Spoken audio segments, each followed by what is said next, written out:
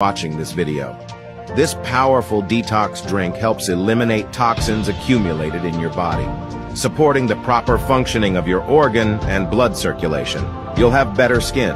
Cucumbers are good for your skin as they contain a high water content and a number of vitamins and minerals, aid digestion. This drink has digestive properties that promote healthy digestion.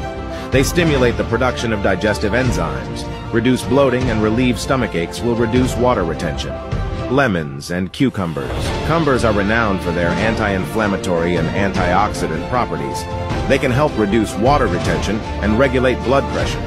If you've made it this far, comments cucumber.